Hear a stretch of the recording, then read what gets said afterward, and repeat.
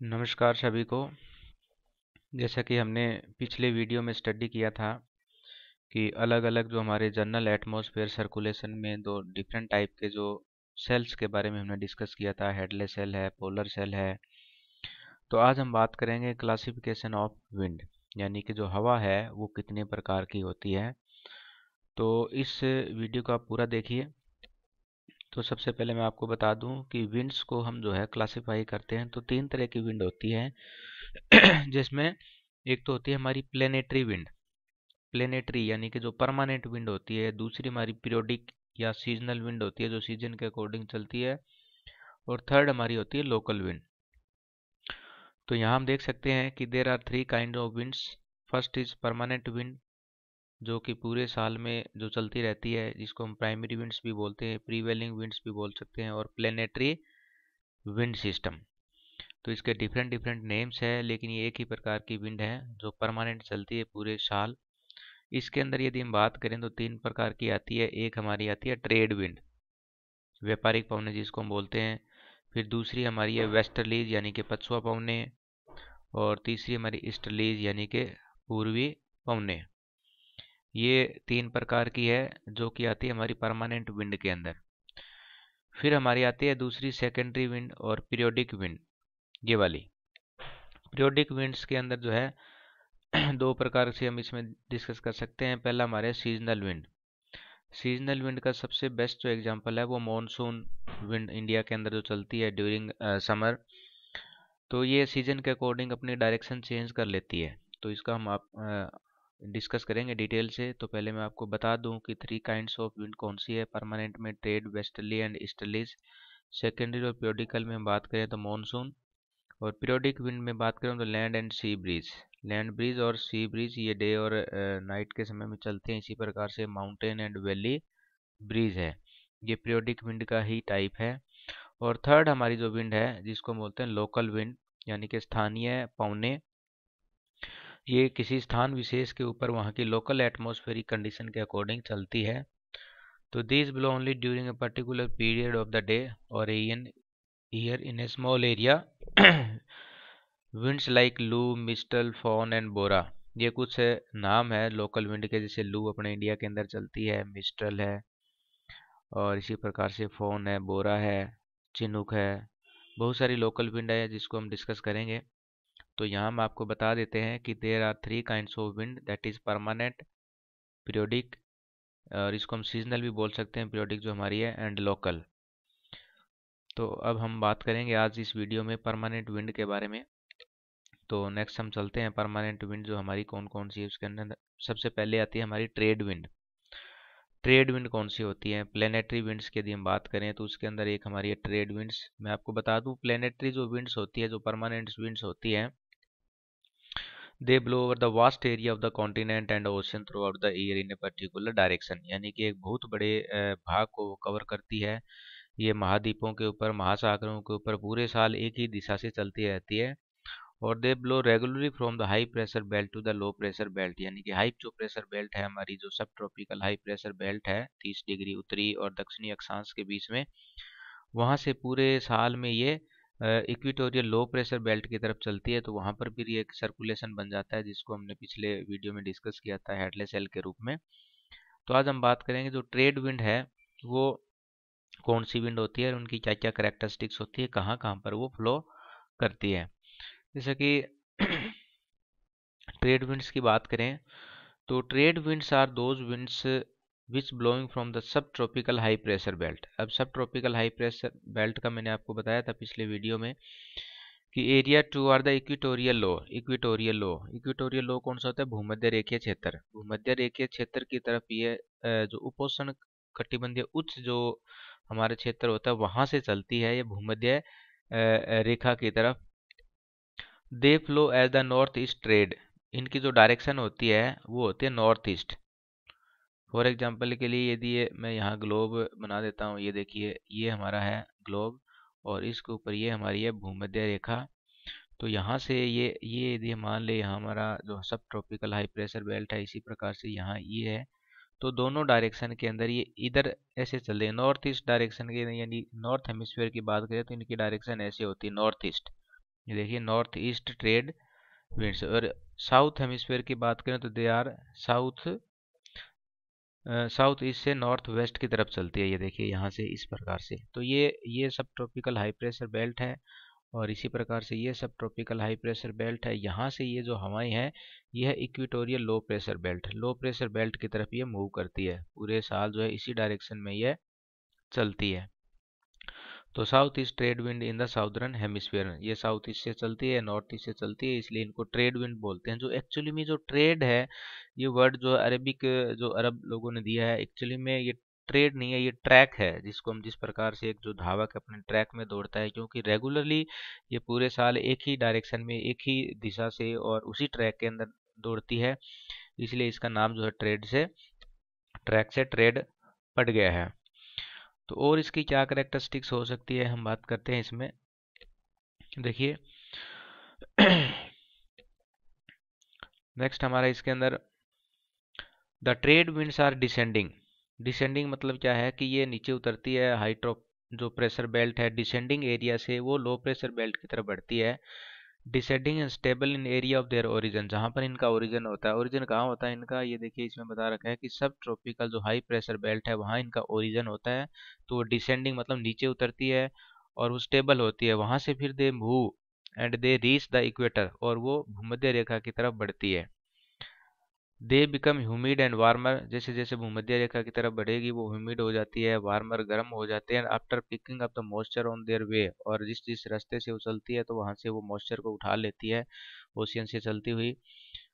The trade winds from two hemisphere meet at the equator अब दोनों दिशाओं से जो हवाएँ आकर, वो क्या करती है? भूमध्य रेखा के ऊपर मिलती है, जिसको हम बोलते हैं I T C Z inter tropical convergence zone ये मैंने पहले भी आपको बताया हुआ है। Due to convergence they rise and cause heavy rainfall अब वो वहाँ पर आएगी तो वो क्या होगी? ऊपर उठेगी ऊपर उठेगी तो फिर वो उसमें कंडेंसेशन होगा और हैवी रेनफॉल वो करती है। तो इसलिए जो इक्वेटर के पास में दोनों दिशाओं से जो हवाएँ आती है, वो मिलकर उसमें ऊपर उठती है और ऊपर उठने से कन्वेक्शनल करंट बनती है और वहाँ पर फिर वो हैवी रेनफॉल करती है। इसी जोन को हम आई टी सी जेड बोलते हैं intertropical convergence zone the eastern part of the trade wind associate with the cool ocean current यानी कि इसका जो ईस्टर्न जो पार्ट होता है ट्रेड विंड्स का, वो कूल ओशियन करंट्स यानी कि जो ठंडी जो समुद्रीय जो धाराएँ हैं, उनसे वो मिली हुई होती है, संबंधित होती है और ड्रायर एंड मोर स्टेबल क्योंकि जब वो ठंडी होती है तो ड्रायर होती है मतलब सूखी हुई होती है, और ये इसमें मोर स्टेबल होती है मतलब स्थायी होती है then the western part of the ocean western part के मुकाबले ईस्टर्न पार्ट में ज़्यादा ये परमानेंट होती है। नेक्स्ट इसमें आती है हमारी वेस्टर्लीज विंड क्योंकि जो हमारी जो जो ट्रेड विंड्स है, इनको ये इस डायरेक्शन से चलती है, इसलिए कई बार इनको ईस्टर्लीज भी कहते हैं। और इक्वेटर पर आने पर ये दोनों आपस में मर्ज हो जाती है और ज़्यादातर इनका जो स्पीड की यदि हम बात करें तो 15 टू 25 किलोमीटर पर आर के रूप में ये चलती है। नेक्स्ट हमारी वेस्टर्लीज विंड यानी कि जिसको हम पछुआ पवनों के नाम से जानते हैं। The wind blow from the sub tropical high pressure belt to are the polar low. अब ये जो विंड चलती है, वो कहाँ चलेगी? अब देखिए, यहाँ जो हमारा जो पोलर एरिया है, सब जो पोलर एरिया है देखिए, मैं आपको दोबारा यहाँ इसको बताता हूँ कि सब जो पोलर एरिया है, इसमें ये इक्वेटर है। यहाँ जैसे कि हमारा इक्वेटर है, इक्वेटर से अभी मैंने जो आपको बताया sub tropical high pressure belt sub tropical high pressure belt से ये क्या करेगी? सब पोलर लो प्रेशर बेल्ट की तरफ़ मूव करेगी। तो इसलिए ये यहाँ इस प्रकार से इनकी मूवमेंट होती है। क्योंकि ये जो इक्वेटर भूमध्य रेखा के ऊपर जो हवाएँ आती है, वो नीचे उतरती है सब पोलर पे तो इसकी कुछ जो हवाएँ हैं उधर वापस आ जाती है इक्वेटर की तरफ़ और कुछ जो है इधर में सब पोलर लो प्रेशर बेल्ट की तरफ़ बढ़ जाती है। इसलिए इनको वेस्टर्लीज के नाम से जानते हैं क्योंकि इनकी जो डायरेक्शन होती है वो वेस्टर्लीज होती है वेस्टर्न साइड से। सो so, ज़्यादातर ये वेस्टर्लीज के नाम से जानी जाती है। अब यहाँ आने पे क्या होता है कि under the influence of the Coriolis force Coriolis force क्या है कि एक रोटेशनल फोर्स है जो हवा की जो डायरेक्शन को डिफ्लेक्ट करती है। They flow from the south west to the north east इनकी जो डायरेक्शन ये देखिए कैसी होगी? इसकी डायरेक्शन ऐसे होती है अब ये। साउथ वेस्ट से नॉर्थ ईस्ट ऐसे। यहाँ ऐसे होगी तो ये साउथ वेस्ट हो गया, या नॉर्थ ईस्ट हो गया। इसी प्रकार से यहाँ यदि हम बात करें तो ये ऐसे चलती है, नॉर्थ वेस्ट से साउथ ईस्ट की तरफ़, ये साउथ हेमिसफेयर के अंदर। चलिए इनकी करेक्टरिस्टिक्स की बात करते हैं, क्या है? The westerlies are the wind blow from the sub tropical high pressure belt अब ये हाई प्रेशर बेल्ट से ही चलती है to are the sub polar low pressure belt sub polar low pressure belt का मतलब उप ध्रुवीय जो निम्न वायुदाब की पेटी है, उसकी डायरेक्शन में ये चलती है। They flow they blow from the south west to the north east अब ये देखिए डायरेक्शन देखिए, इसकी कैसी है साउथ वेस्ट साउथ वेस्ट कौन सी होगी? यहाँ इस प्रकार से। ये चलेगी ऐसे। ये होगी हमारी साउथ और वेस्ट और ये होगी नॉर्थ और ईस्ट तो south west to north east in the north hemisphere उत्तरी गोलार्ध के अंदर तो ये डायरेक्शन इनकी ऐसे रहेगी और दक्षिणी गोलार्ध के अंदर इनकी डायरेक्शन बिल्कुल ऐसे हो जाएगी। North west to south east. North west to south east, ये देखिए। तो इसलिए इनकी जो डायरेक्शन है बहुत हेमिस्फीयर में चेंज हो जाती है due to the rotation of the earth और due to the Coriolis force since they blow from the warmer area to the colder area क्योंकि अब ये जो, जहाँ से ये चलती है तो वहाँ पर वो गर्म एरिया है वार्मर एरिया है सब ट्रॉपिकल हाई प्रेशर बेल्ट है, और ये पोलर की तरफ़ मूव करती है। मूव करेगी तो कहाँ जाएगी ये? इस डायरेक्शन की तरफ़ जाएगी। तो ये जो डायरेक्शन है, वो कोल्ड की तरफ़ है। कोल्ड की तरफ़ बढ़ेगी तो क्या होगा?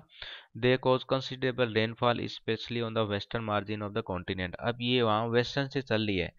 तो जितने भी महाद्वीप है, उनके वेस्टर्न जो पार्ट है, यानी कि पश्चिमी जो एरिया है, उनकी तरफ़ वो क्या करती है? रेनफॉल करती है। तो यदि हम बात करें इसमें तो ये जो नर्दर्न हेमिसफेयर है, यानी कि उत्तरी गोलार्ध है, उसके मुकाबले में ये जो दक्षिणी गोलार्ध है, यानी कि सदर्न हेमिसफेयर है, यहाँ पर इनकी जो वेलोसिटी है या डायरेक्शन है चलने की, वो ज़्यादा स्टेबल हम कह सकते हैं as compare to the north hemisphere क्योंकि नॉर्थ हेमिसफेयर के अंदर लैंड पार्ट ज़्यादा है साउथ हेमिसफेयर के अंदर जो है वाटर बॉडी ज़्यादा है, इसलिए ये इनकी जो स्पीड होती है, वो ज़्यादा साउथ हेमिसफेयर के अंदर ज़्यादा होती है। तो लोकल ट्रेडर ने इनके काफ़ी अलग अलग नाम रखे हुए हैं यहाँ पर। तो इसमें देखिए the westerlies of the southern hemisphere are stronger ये देखिए सदरन हेमिसफेयर के अंदर आर वो बहुत ही ताकतवर स्ट्रोंग हो जाती है and persistent due to the vast expanse of the water किसकी वजह से? वहाँ पर जो जल का जो प्रभाव है या क्योंकि वहाँ पर पानी की मात्रा ज़्यादा है, इसलिए वो वहाँ पर ज़्यादा स्ट्रोंग हो जाती है। While those of the northern hemisphere are irregular northern hemisphere के अंदर ये नियमित या स्थायी नहीं है because of the uneven relief of the vast land masses क्योंकि वहाँ पर जो लैंड मासिस है वो काफ़ी अन इवन है। और अन इवन लैंड मासिस यानी कि कहीं पर पर्वत है, पठार है, मैदान है, इसकी वजह से वहाँ पर जो उसकी जो हवा की जो स्पीड है वो काफ़ी इससे प्रभावित होती है। The westerlies are best developed between 40 to 60 degree यहाँ 65 दिया 40 से लेकर 60 डिग्री के बीच में, यानी कि साउथ हेमिस्फेयर के अंदर, दक्षिणी गोलार्ध के अंदर 40 से लेकर 60 डिग्री के बीच में ये जो हवाएँ हैं, वो काफ़ी मतलब यूँ कह सकते हैं काफ़ी स्ट्रॉन्ग है और काफ़ी तेज़ गति से चलती है।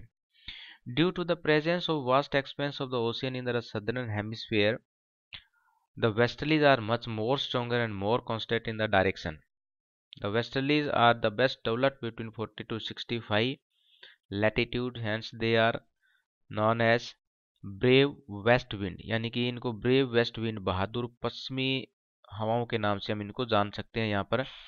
तो अब उनकी जो स्पीड है 40 डिग्री पे 50 डिग्री पे 60 डिग्री पे साउथ हेमिस्फेयर के अंदर, वो अलग अलग स्पीड की वजह से क्या है इनको मतलब उनकी जो साउंड जो क्रिएट होती है साउंड यानी कि 40 डिग्री पे चलने पर 60 डिग्री पे 50 उनकी जो साउंड क्रिएट होते हैं, उन साउंड के आधार पर इनके अलग अलग नाम रखे हैं।